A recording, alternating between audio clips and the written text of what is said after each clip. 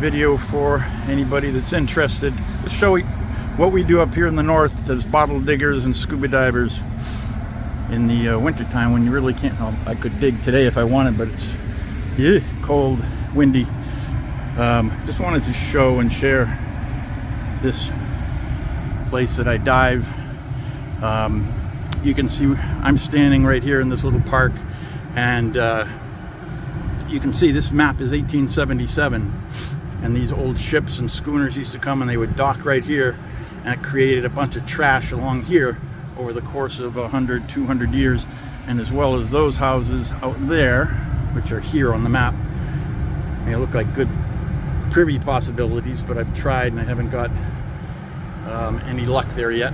Um, but uh, I just what I wanted to show was in the old days schooners would come up here, the river was wider, um, and the dam that's there now wasn't built to the extent that it is right now. And uh, so I've, I'll quickly show you where I find stuff from those ships. This was the edge of the dock. Right here, these old cut granite stones. And uh, I found stuff from this, I found an old 1700s wine bottle right right in there and all the way out through here. A channel in the middle where um, I usually come out this far and get into the channel and go down and dig into the into the silt at the bottom. And it's kind of a continuous batch of trash, not a whole lot, but um, occasionally I would find a bottle and I'd dig deeper and I'd still be finding bottles. So this whole banking has got residue and litter and trash from the last 200 years in it. Um, I stopped going because I would see the shards and things that I left from the year before and nothing had changed and it really felt like I had got all there was to get. But this year we just had this big massive flood. Um, that's the river that comes all the way from the White Mountains and right now all the water is rushing down, melted snow. It rained really hard on top of snow so the water is blasting down here and this is higher than I've ever seen it. So it goes to uh, it leads you to believe that what is happening down at the bottom here hasn't happened in a long time where where the silt and everything down at the bottom is getting strafed away hopefully exposing some new um, trash which I'll check out as soon as, as it's reasonable. But the uh, kind of a confusing thing is that uh, that dam when this is a tidal river so this at low tide this drops about eight seven eight feet down and right out there you can see dry land. You can almost walk waist deep out across the river and then at high tide it rise, rises way back. Um, but that's not going to happen until that dam you'll come down and the only water coming over that dam is coming down that little side channel. It's the river fresh water coming down flows into here. River keeps flowing but really slowly but right now when it's low tide that water is going to keep blasting over there because the the snow melt. Um, so I will have to wait until there's no water blasting over that anymore and it's low tide and then I'll be able to get in and see I'll be able to kind of walk out. I could snorkel anybody could snorkel and find stuff. And hopefully there's a whole new batch of stuff out here in the spring. So hopefully I can uh, be lining up bottles up on the rocks here that are uh, good find. so I don't know if I'll use this but I find it really interesting and maybe some of you will as well something in the water down there. Something kind of big. I think it's a seal.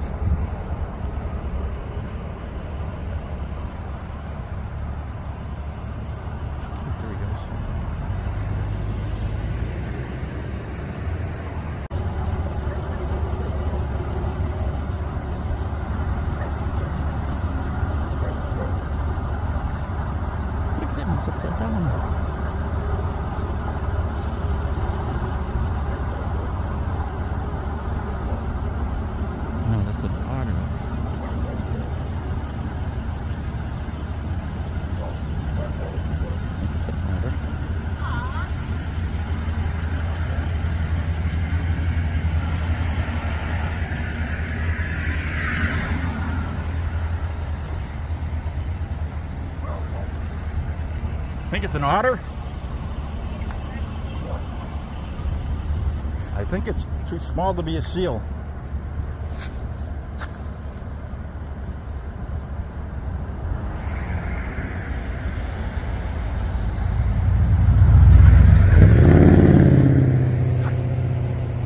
Up, oh, you went that way. There he goes out to sea. He's out under the docks now. You ever seen him before here? That's crazy. Yeah. Have a good day. Digging what you'd call a city dump alongside a river. This whole banking I've dug in the past, and uh, being it's winter time, I don't have any other good alternatives. Got a hole going, but not too much. Got a local milk and a Atlas Mason. I'm, I'm sitting here, I'm looking over there. I'm looking at that blue thing. I'm pretending it's a rare insulator or tea kettle ink. Uh, my eyes aren't good enough.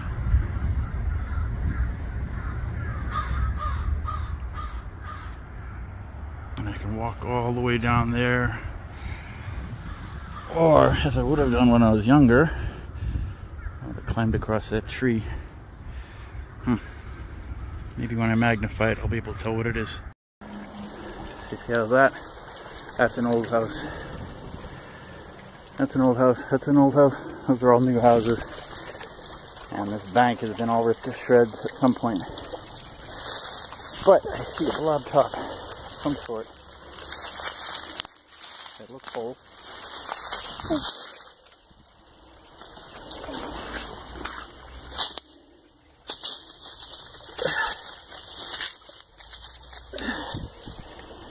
Look at that, it's in one piece.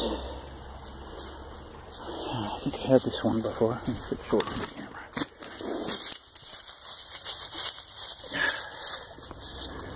Guess it's a, call that a pony. From New York.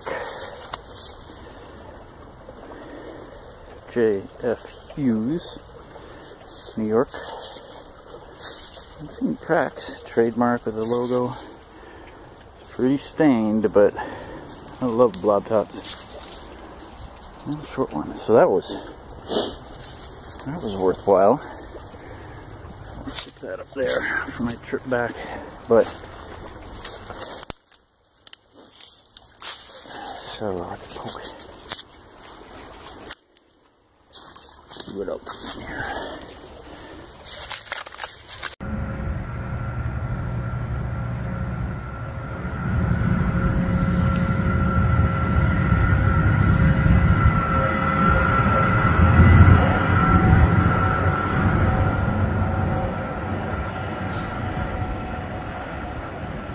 I don't know what that was.